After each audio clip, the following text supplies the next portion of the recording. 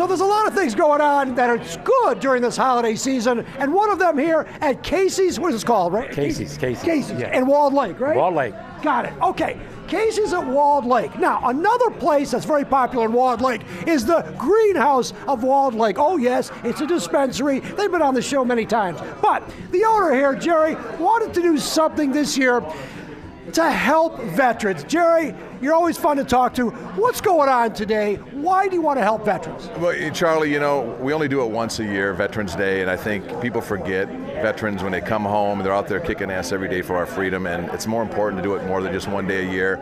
People don't understand what they go through when they come home. So we're giving $10,000 away, 5000 to vets returning home that help vets returning home, and $1,000 to five separate vets. We raised 10 grand cash with our friends at U-Baked. Got a $1,000 check right here. And let's bring in a vet here.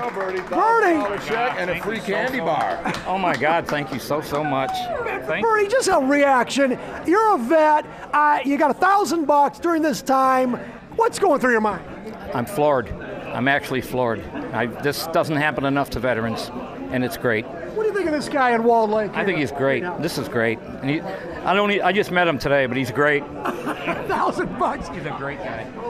Uh, listen, five other people, four Yeah, other people, yeah. five total. Right. It's a it's a great thing. Right. How'd you select the people that got it? people sent sending emails and they could nominate themselves. I believe Bernie was nominated because you were working with your grandchildren, right? Yeah, yeah. So Bernie was nominated by a young lady, and I read about him, and I thought, you know what? He's deserving. And you wanted to come to Casey's here on Walled Lake, your place right across the street, doing something to help the community. All right.